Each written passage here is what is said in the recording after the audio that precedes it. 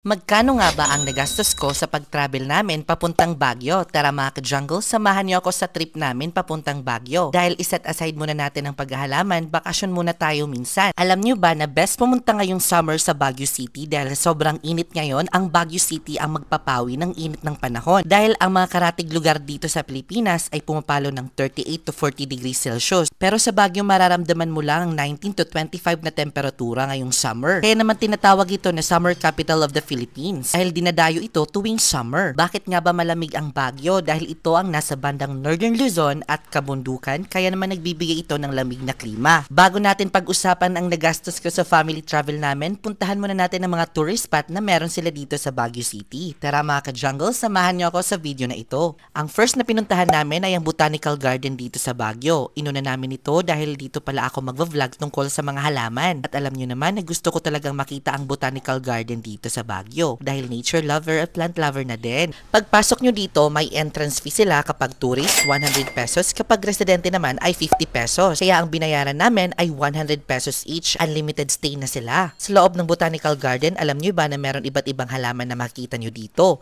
At every area, parang napuntahan nyo na ang Asia dahil meron silang pa China, pa Japan, pa Korea. Parang nasa China talaga ang feels. Nagsuot din kami ng bahag na nagkakahalaga ng 30 pesos each at free picture na sa lahat. Sobrang saya namin, di ba?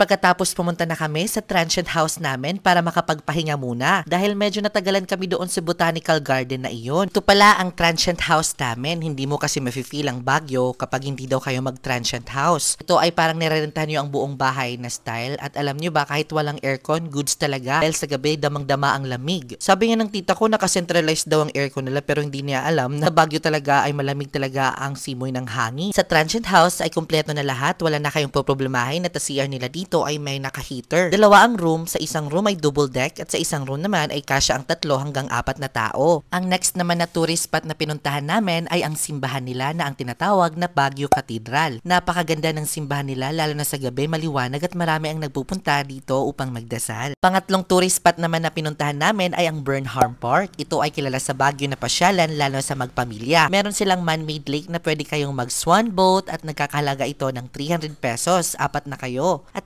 pang ibang mga activities at sumakay din kami ng bike, kumain din kami ng taho dito na ubi. First time ko kumain ng ubi na taho at strawberry. Sarap pala mga ka-jungle. Second day naman tayo mga ka-jungle, pang limang tourist spot na napuntahan namin dito ay Wright Park. Ito makikita nyo ang mansyon at mga pine trees na napakaganda at madami ang nag-stop over dito dahil napakaganda parang nasa Switzerland lang ang peg. Wala namang entrance na binabayaran dito kasi public viewing ito. Okay na okay 'di ba? At nag-enjoy din ako dito sa mga pine trees nila dahil parang nasa Korea ako ang gaganda pagmasdan talaga ng mga punong ito. Ang pang-anim na tourist spot naman na pinuntahan namin ay ang Mines View. Alam nyo ba na 10 pesos lang ang entrance namin dito? Ito din ang dinaragsa ng marami dahil napakagandang tanawin na tanaw talaga ang Baguio City. Sumakay din ako ng kabayo for only 50 pesos. Makakasakay ka ng kabayo at free picture dito mga ka-jungle. Dito sa kanilang Mines View, pwede kayong bumili ng mga pasalubong at iba pa. Ang last naman na pupuntahan namin but not the least mga ka-jungle, syempre kapag nandito ka sa Baguio, huwag niyong kakalimutan puntahan ang Strawberry Farm located at La Trinidad, Benguet. Walang entrance dito pero kapag mag-picking kayo ng strawberry, 750 per kilo. Pwede na kayong mamitas ng mga strawberry o strawberry picking ang tawag. Lahat kami namitas dito sa sobrang saya namin, di ba? First time ko kasi mamitas ng strawberry in my whole life. Char. Eman todo, pitas talaga ang pamilya ko. Tingnan nyo naman, o, oh, di ba? Pitas ng pitas ng strawberry pero bawal dito kumain ha. At ayan na nga ang aming na picking na strawberry na nagkakahalaga ng 780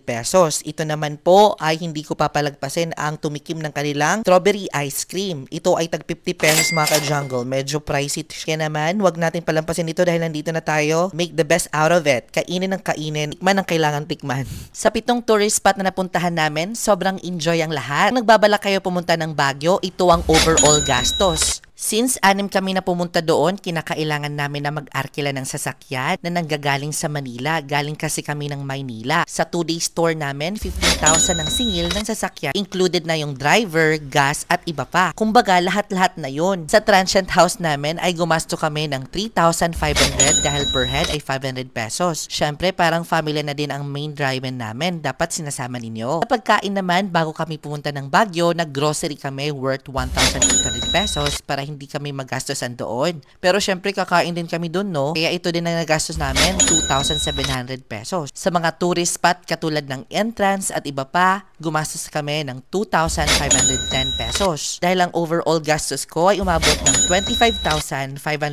pesos. Sabihin na lang natin na 30,000 lahat na nagastos ko, included na ng mga pasalubong. Pero alam nyo ba, hindi mabibili kahit anong halaga ang sayang nararamdaman namin sa pagpabakasyon na ito. Baliwala po ang gastos na yan dahil hindi po mabibili yan sa saya at enjoyment ng aking pamilya. Sabi nga nila, kung meron kayong sobra, i-enjoy nyo yan. Make the most out of it. Kaya naman kung may sobra kayong pera, try nyo mag-outing din minsan. Kaya ngayon mayroon na kayong idea kung magkano nga ba ang magagasto nyo pagpunta nyo yung Baguio City. Pero take note mga ka-jungle, pwede din kayo niya mag-DIY o do it yourself para hindi malaki ang gasto. Kayo ba mga ka-jungle, nakapunta na din ba kayo sa Baguio? Magkano ba ang nagastos nyo? I-comment mo naman. Maraming salamat sa panood and I will see you next episode mga ka-jungle because more plant, less stress.